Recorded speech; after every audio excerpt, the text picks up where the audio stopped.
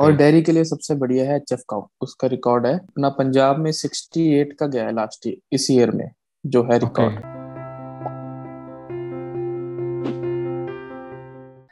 नमस्कार दोस्तों आज हमारे साथ मनप्रीत सिंह जी जुड़े हैं जो कि डेयरी फ़ार्मिंग बिज़नेस में काफ़ी एक्टिव हैं। तो मनप्रीत सिंह जी हमें अपना वक्त देने के लिए बहुत बहुत शुक्रिया। जी सर नमस्कार सर। नमस्कार। सर कुछ क्वेश्चंस हैं जिनके बारे में हम थोड़ा आंसर चाहता हूँ आपसे। जी जी। सर जैसे कोई भी डेयरी फ़ार्मिंग बिज़नेस स्टार्ट करने से पहले वो उसमें काउज या फिर कोई भी कैटल जो हम खरीदते हैं उसमें हमें क्या क्या चेक करना पड़ता है? मतलब कौन सी क्वालिटीज जो होती हैं वो हमें ध्यान देना पड़ता है? सर इसमें आपको ये क्वालिटी का ध्यान रखना होता है कि सबसे मिली तो ये है कि आप अपने घर के लिए ले रहे हैं फ़ार्मिंग के लिए ठीक है ना?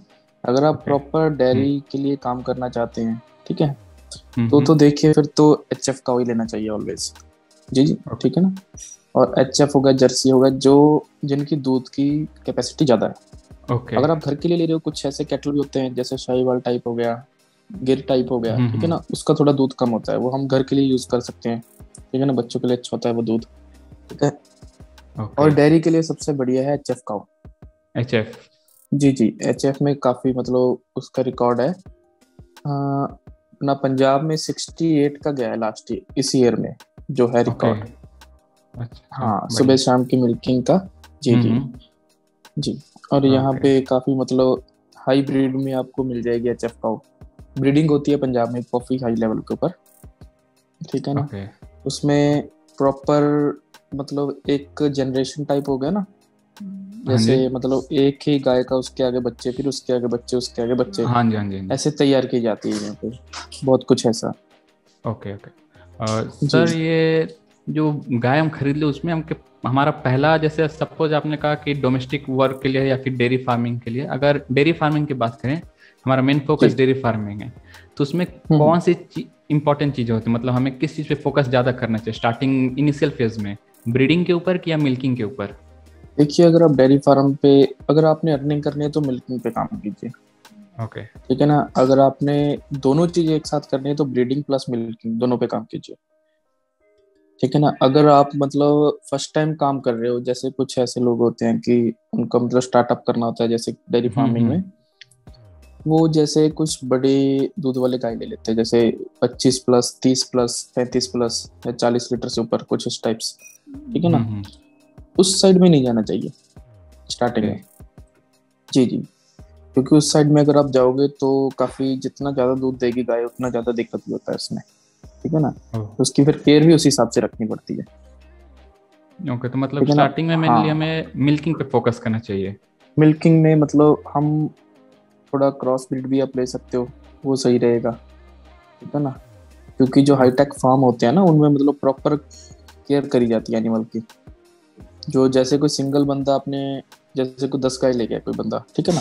Okay. एक शेड डाल के वो काम शुरू कर रहा है तो उसमें एक सिंगल मैन को तो काफ़ी ज़्यादा दिक्कतें आएँगी। उसके लिए प्रॉपर मैन पावर चाहिए प्रॉपर डॉक्टर ट्रीटमेंट चाहिए ठीक है ना? टाइम टू टाइम उसका diet chart proper diet time to time का चाहिए। हम्म। काफ़ी कुछ उसमें होता है मतलब। जब वो इंसान करता है तो धीरे धीरे धीरे धीरे नॉलेज के हिसाब से ही गेन होता है सब कुछ। Okay sir. तो जैसे आपने बात की शेड मैनेज शेड की तो ये शेड मैनेजमेंट डेयरी फ़ार्मिंग में क्या रोल प्ले करता है? शेड का मतलब हर जगह का अपना अलग सीन है। ठीक है ना?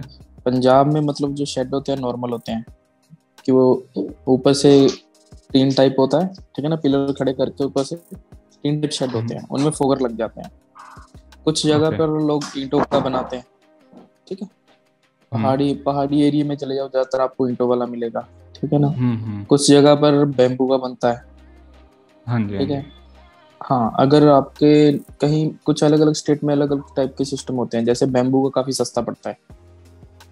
ठीक है? उसमें आप फोगर लगाकर अच्छे से मतलब रख सकते हो। ठीक है? और जो टीन वाला है वो सबसे बढ़िया है। ठीक है? जो स्टील टाइप मतलब हो गया टीन होते हैं वो।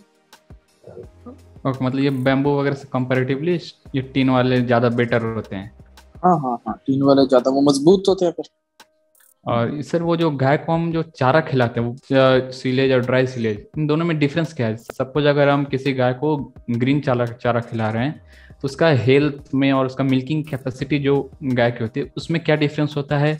और वही दूसरी तरफ़ अगर हम उसको ड्राई खिलाएँगे तो उसमें क्या डिफरेंस होगा उसके हेल्थ में और मिल्किंग कैपेसिटी में? देखिए ड्राई में थोड़ा सा सूखा हो गया ठीक है ना? हम्म। अगर इंसान को हम सूखी सब्ज़ी रोज की रोज खिलाते रहेंगे ठीक है ना? हम्म। वो उसको ऑटोमेटिक कॉन्स्टिपेशन हो जाएगी। हाँ जी। मानते? हो हाँ जी हाँ अगर साथ में अगर रोज की रोज मैं आपको एक ही चीज़ खिलाता रहूँ भैया सूखी सब्ज़ी खाते रहो। हम्म, सूखा ही खाते रहो सूखे आलू खाते रहो जीरे वाले। वो तो आप रोज खा नहीं पाओगे। नहीं बिल्कुल। सही है ना? हाँ, हाँ उसके अलावा आपको कुछ तरी वाला भी खाना चाहिए तो मिक्स में ही चलना चाहिए। क्योंकि एक गाय का मूड स्विंग ना खाने से बहुत अच्छा होता है। जितना गाय खुला रहेगा और खाने को जैसे उसको हरे पे बहुत बढ़िया रहता है। वो तो अवेलेबिलिटी के ऊपर है सर देखो. अगर आप एक कंपनी के लेवल पे काम कर रहे हो ना आप इंडिया लेवल पे काम कर रहे हो ठीक है ना? Hmm. उसमें ऐसा है कि अवेलेबिलिटी आपके जहाँ पर आप रहते हो किस तरह का वहाँ पर आपको मिलता है खाना। कई जगह पर हरा मिलता ही नहीं है। हाँ जी। ग्रीन फोडर बिल्कुल नहीं मिलता वहाँ पे सूखा मिलता, मिलता। है। हाँ इसीलिए फिर वहाँ के हिसाब का डाइट चार्ट अलग होता है। जैसे पंजाब में हर चीज़ अवेलेबल है वहाँ पे ग्रीन भी अवेलेबल है ड्राई भी अवेलेबल है साइलेज भी अवेलेबल है फ़ीड भी अवेलेबल है सब हम्म, हम्म। कुछ। ठीक है ना? तो पंजाब का अलग सिस्टम है ठीक है ना? जैसे हम कई ऐसे स्टेट है जहाँ पे ग्रीन बिल्कुल ही नहीं मिलता।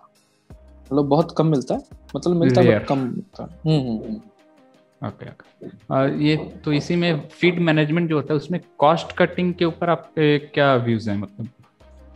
देखिए सबसे मेन मेन बात तो ये है कि आज के टाइम में लोगों को काफ़ी लोगों को इस डेयरी लाइन में पता ही नहीं है अभी एक गाय को कितनी फीट डालनी है। Maximum okay. और कितना हरा डालना है कितना ड्राई फूडर डालना है। हाँ जी हाँ जी। सही है ना? इस चीज़ के बारे में बहुत कम लोगों को मालूम है। इसलिए इसमें ऐसा है कि जैसे अगर आपके पास मेनली अगर आपके पास कोई पैरावेट या डॉक्टर की फैसिलिटी है हाँ। ठीक है ना? हाँ मेनली आप एक डॉक्टर से डाइट चार्ट बनवाओ। ठीक है? आपके एरिया के हिसाब से। मेनली जैसे पंजाब में अगर 20 लीटर वाली कोई गाय होगी तो हम्म, उसको हम्म। आठ से दस ग्यारह किलो के हिसाब से ग्रीन पड़ता है। आठ दस किलो आठ से दस किलो या उससे थोड़ा ज़्यादा ड्राई पाउडर पड़ता है तूड़ी बोलते हैं जिसको। हाँ जी हाँ जी। हाँ और इसमें साइलेज होता है ठीक है? और फ़ीड होता है छः सात किलो। साइलेज होता है साइलेज हो जाता है इसमें आपको कुछ एनिमल हेल्थ एनिमल की हेल्थ के ऊपर भी डिपेंड करता है मोस्टली अगर एनिमल ही जमी मतलब कुछ लोग जैसे मैं कुछ लोग केयर नहीं करते।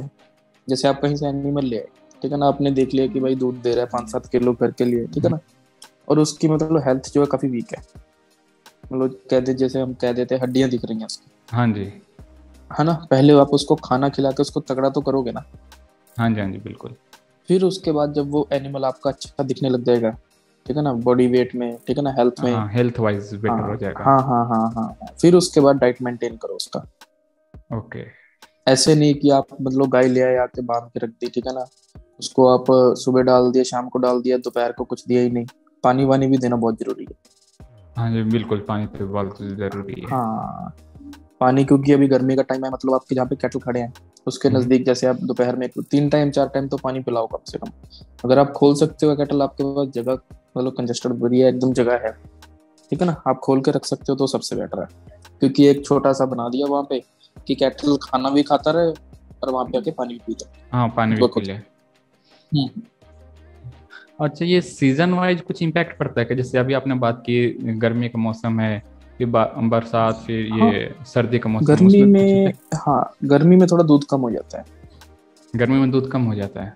दूध कम होता है क्योंकि गर्मी जैसे पड़ेगा ठीक है ना तो इंसान का भी जैसे हम हम लोग गर्मी में निकलते हैं आप दिल्ली में निकल जाओ कितना गर्मी है अभी सब हाँ जगह पे देख लो नॉर्थ साइड में कितना गर्मी है।